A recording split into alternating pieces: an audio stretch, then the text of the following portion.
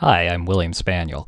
Let's learn some game theory. Today's topic is the stag hunt and pure strategy Nash equilibrium, and I cover this topic in lesson 1.3 of Game Theory 101, the complete textbook. Check the video description for more information about that. Here's the situation. We have two hunters going out to catch meat. There are two hares in the range and one stag. The hunters can only bring the equipment necessary to catch one type of animal, and they have to choose this equipment without seeing what the other one is going to choose. They can't really coordinate here directly. The stag is going to be worth a lot more meat than the hares combined. combined. In fact, we're going to make it worth six units of meat, while each of the individual hares is only worth one unit of meat. But the stag is really tricky to catch, and the hunters need to actually both be trying to catch the stag in order to essentially trap it and kill it. So, in order to get the stag, both of them have to choose the stag hunting equipment in order to be able to get it. In contrast, hares are really easy to catch, and so if you're a hare hunter, you can capture all of the prey without the help of the other guy. So if we condense this information into a payoff matrix, here's what it looks like. We have two players, player one, player two. Each of them can choose to hunt a stag or hunt a hare. If they both hunt a stag, then they coordinate and everything works pretty well. They get to capture the six units of meat and split it evenly between them three apiece. If one tries to capture a stag and the other captures a hare, like in this outcome right here, the player who's hunting a stag, in this case player two, fails because she needs the help of player one in order to capture the stag. And so she gets zero. Meanwhile, player one is left to capture both of the hares by himself, so that means he gets two units of meat. Lastly, in this outcome right here, both of them choose to hunt a hare, and so they split the two hares evenly, one hare apiece. Now, in the last two videos, we solved games by looking for strictly dominated strategies, but here that's not going to take us anywhere. Let's see why. Suppose player 1 knew that player 2 was going to hunt a stag. Player 2 in this case, or player 1 in this case, should also hunt a stag because 3 is greater than 2. But if player one knows that player two will be hunting a hare, then player one should also hunt a hare. The reason is because if he hunts a stag by himself, he's going to fail and get zero. If he goes out and hunts a hare, then at least he gets one. So player one's strategy, our optimal strategy, is completely dependent on player two's choice.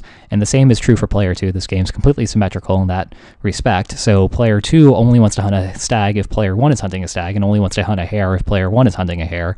And so as a result, there isn't a strictly dominated strategy for either player here.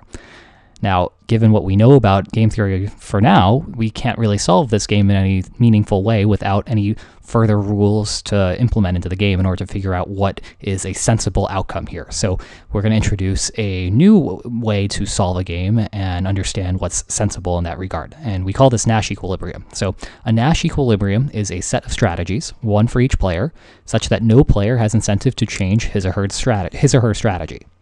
Now, a couple of notes about this. We only care about individual deviations, not group deviations. So if we're checking whether some outcome is a Nash equilibrium, we don't have to see if both players can collectively change their strategies to different strategies. We only have to worry about can one player change his strategy and do better, or can the other player change her strategy and do better. We're just worried about individual deviations, not group deviations. Now, the reason that Nash equilibria are compelling is that they're inherently stable. What you're doing is optimal given what I'm doing, and vice versa.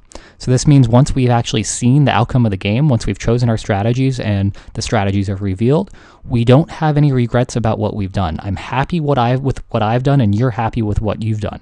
We can't change our strategies in retrospect individually and do any better. So let's see this in practice. How does this work? Well, how do we find these Nash equilibria? There are four different outcomes here. So what we're going to do to see if any of these are Nash equilibria is we're going to isolate that outcome and look to see if each or if any of the players can individually do better by changing their strategies. So let's start out by looking at the stag stag outcome. Would any player want to change his or her strategy given that both players are going to be playing stag? Well, player one would not want to change his strategy because he's getting three for hunting the stag and only two for hunting a hare, so he's satisfied maintaining his strategy. And player two is also in the same boat, right? She uh, she gets three for hunting the stag and only two for hunting the hare, so she's happy maintaining her stag strategy. And so we know that this outcome right here, the stag stag outcome, is a Nash equilibrium. Every player is happy with this outcome. Neither player can change his or her strategy and expect to do better. Now, this should be intuitive because the stag outcome represents the best possible outcome for both players, right? They both get three in this situation, and these three points is better than any other outcome for both of the players. So we should expect this to be a stable strategy, given that it's the best thing that both players can do. But we need to check to see if there are more Nash equilibria in this game. Games don't always have one Nash equilibrium. There can always be more than one Nash equilibria, and so we should really check to see if there are any more here. So let's take another outcome. Let's look at this outcome right here. When player 1 hunts a hare and player 2 hunts a stag, is this a Nash equilibrium? Is this inherently stable? The answer is no. Why is that? Look at player one's choice. If player one knows that player two is hunting a stag, we've seen this before, he's going to want to change from hunting a hare to hunting a stag because he can go from two and move up to three. That's a profitable deviation to change from hare to stag. So that means this can't be a Nash equilibrium because there exists an individual deviation that leaves that player better off. Now, we could just be done with that and not look to find any more deviations, but we could also note that player two has a profitable deviation in this case, right? Because she's playing a stag here and she's earning a zero but she could switch over to hare and she could do better that way. So this is also a profitable deviation. This is superfluous information if we only care about finding Nash equilibria, because we already know based off of player one's deviation that this can't be a Nash equilibrium, but we could have also shown it by looking at player two's deviation in this case. All right, so we know that this is in a Nash equilibrium. What about this case up here where player one's hunting a stag and player two's hunting a hare? Well, that's essentially identical to the situation down here, and we can see that this isn't a Nash equilibrium because player one would want to change his strategy. He could go from hunting a stag and getting zero to hunting a hare and getting one. So that's a profitable deviation for him. That means this can't be a Nash equilibrium. And again, we don't have to check player two's deviations because as soon as we find a single deviation, in this case player one's, we know that this outcome can't be a Nash equilibrium. That leaves us with one outcome to check, which is when they're both hunting hares. So do any of the players have a profitable deviation given this outcome is going to happen in expectation? Well, the answer is yes. Look at player one's choice. Player one could switch from hunting a hare to, or uh, rather, neither player has a profitable deviation. Player one can't switch over from hunting a hare to hunting a stag because he goes from earning one to earning zero. That's not good for him. He would be sad, he would be upset if he switched his strategy from hare to stag, given that player two is going to be hunting a hare. Same is true for player two. So if player two expects player one to be hunting a hare, she earns one for maintaining her strategy and zero for changing her strategy. So that's not a profitable deviation. She would be unhappy if she did that. So that means this outcome is also collectively stable. This is a Nash equilibrium. So we found two Nash equilibria here. There's a Nash equilibrium where they both hunt a stag, and there's a Nash equilibrium where they both hunt a hare. Now, this one was obvious. This was much more counterintuitive because this is worse for both players than if they both collectively chose stag.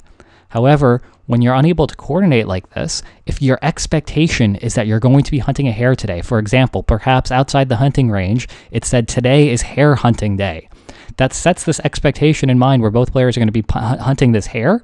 And so this guarantees that they're going to be doing something a little bit better when they're hunting hares. And as a result, this can sort of sneak in there and trap them into this inefficient situation where they're both hunting hares instead of getting the stags.